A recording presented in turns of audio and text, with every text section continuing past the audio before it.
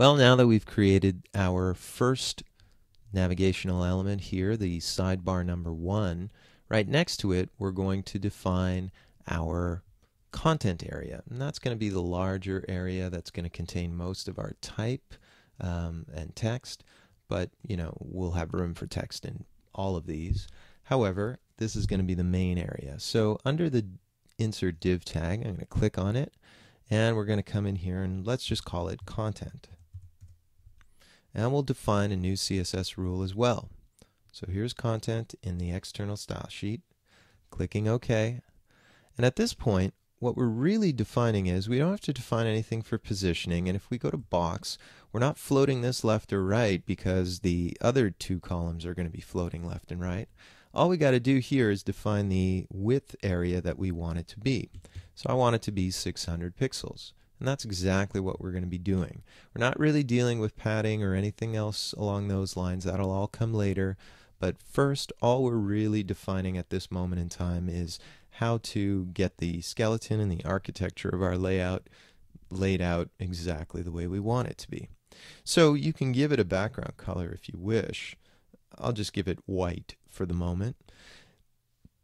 And as you'll see, um, its content should be with a white background once we preview it inside of our work. So other than that, I'm not really doing anything else inside of this particular area. So we'll just click OK. And we will insert it at that point that we defined earlier. So if you'll notice, here is the content area. And when we come in here and see what it looks like, it's being pushed to the area that it needs to be pushed against. And that should be fine for us. Before we leave, let's come in here and preview this in Safari. And what you can see is it's stretched out. It works as much as we need it to be.